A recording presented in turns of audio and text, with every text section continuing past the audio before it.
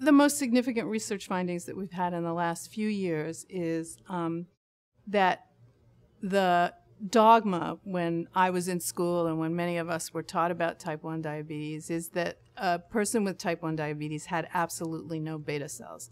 The autoimmune response had really eliminated all the beta cells.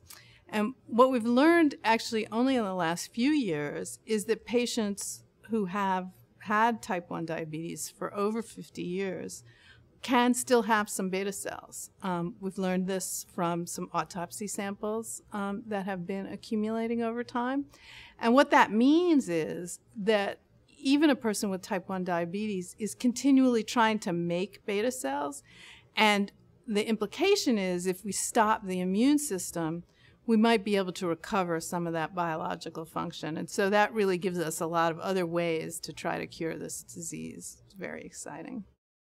Um, the other thing that we've found is um, that if you try to um, stop an ongoing immune response, it's much harder to stop an established response than one that's very early. So it's switched our attention a little bit at JDRF to start thinking about treatment and prevention of type 1 diabetes. So if we could get in right at the time of diagnosis, we might have a better chance of turning off that immune response.